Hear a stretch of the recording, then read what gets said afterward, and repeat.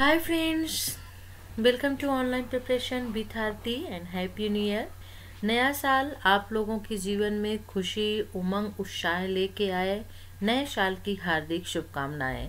चलिए आज का वीडियो स्टार्ट करते हैं। आज का जो वीडियो है, ये है यूपी बीएड 2020 का। जी हाँ यूपी में बीएड जो है, वो होगा 2020 का, जिसे UP BEd joint entrance exam के नाम से जाना जाएगा। यानी यूपी बीएड जेई 2020 चलिए आइए पूरी इन्फॉर्मेशन इस बी के बारे में हम आपको देते हैं।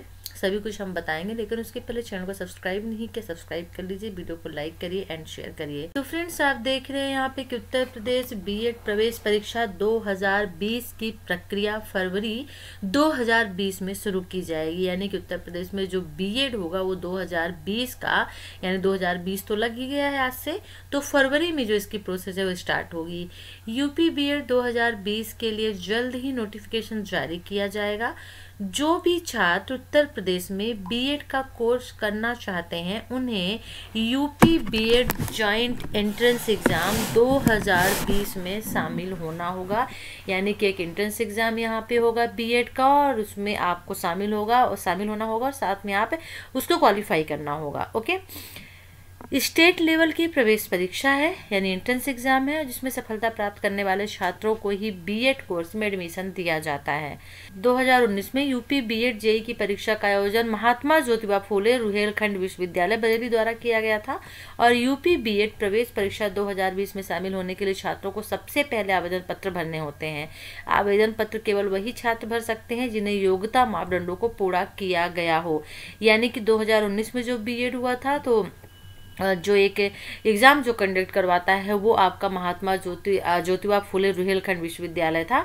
लेकिन इस बार ऐसा सुनने में आ रहा है कि ये जो है लखनऊ यूनिवर्सिटी कराएगी ठीक है? और यहाँ पे जो भी एलिजिबिलिटी रखी गई है, उस एलिजिबिलिटी को आपको पूरा करना होगा। एलिजिबिलिटी क्या होगा? जब नोटिफिकेशन जारी होगा, तब आपको खुद ही समझ में आ जाएगा, हम आपको बताएँगे।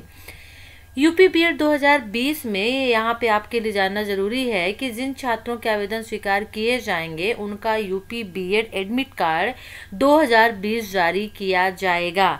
यानी कि एक तरह से इसे एडमिट कार्ड आप कह लीजिए, जब आप अप्लाई करते हैं और अप्लाई करने के बाद आपको एडमिट कार्ड दिया जाएगा और इसके बाद ही आप जो है, जिस तरह से सभी एग्ज़ामों में जनरली होता है, आप जो है एग्ज़ाम देंगे, उस एग्ज़ाम में बैठ सकेंगे, ठीक है? और उसके बाद जब ये एग्ज़ाम होगा एंट्रेंस एग्ज़ाम होगा, उसके बाद जो है इसका रिज़ल्ट निकाला जाएगा और रिज़ल्ट के बाद मेरिट लिस्ट निकाली जाएगी और जिन छात्रों का नाम मेरिट लिस्ट में आएगा, उन छात्रों को काउंसलिंग प्रक्रिया में भाग लेना होगा। हालाँकि और काउंसलिंग के दौरान ही छात्रों को एडमिशन दिया जाएगा। यहाँ पे एक चीज़ क्लियर कर दूँ, पहले तो ऐसा नहीं था, इस बार रूल देखते हैं क्या होता है। यदि आप क्वालिफाई कर लेते हैं तो भी आप जो है एडमिशन ले सकते हैं बीएड में। बस सीट देखनी होती है कहाँ पे कितनी सीटें हैं, जो है इसके लिए अलाट की जाएँगी बीएड के लिए।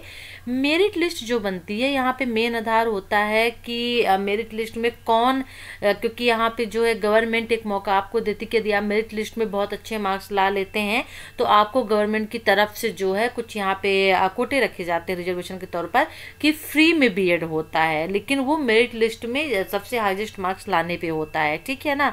तो वो थोड़ा सा यहाँ पे सभी के लिए पॉसिबल नहीं होता है ओके तो यहाँ पे जो है, आप, जो यहाँ पे लिखा गया कि मेरिट लिस्ट में नाम आने पर छात्रों को काउंसलिंग प्रक्रिया में भाग लेना होगा, ये भी थोड़ा यहाँ पे क्लियर नहीं है, ठीक है ना?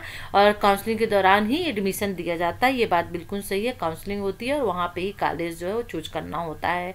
तो चलिए, जैसा भी जो भी होगा न्यू इन्फॉर्मेशन जैसे भी नोटिफिकेशन आएगा, आप तक इन्फॉर्मेशन पहुँचाई जाएगी। आप जो है, बने रहिए इस चैनल से और जो है इसकी प्रिपरेशन एंट्रेंस एग्ज़ाम की जो है वो शुरू कर दीजिए। यदि आप बी करना चाह रहे हैं यूपी से तो आ, क्योंकि आप जब इसकी प्रिपरेशन पहले से करेंगे अब टाइम भी नहीं रह गया। दो महीने का टाइम आपके पास है फरवरी में नोटिफिकेशन आएगा और जहाँ तक है तो अप्रैल या मई में शायद अप्रैल वगैरह में इसके एग्ज़ाम्स होते हैं अभी तक का जो शेड्यूल रहा है।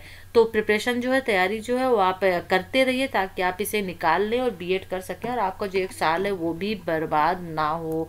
ओके तो चलिए फिर जैसे भी नोटिफिकेशन आएगी, सब कुछ इन्फॉर्मेशन आपको दी जाएगी। तो वीडियो को लाइक करिए शेयर करिए चैनल को सब्सक्राइब नहीं किया सब्सक्राइब कर लीजिए। और फिर से once again happy new year 2020 नया साल आप लोगों को बहुत बहुत मुबारक हो।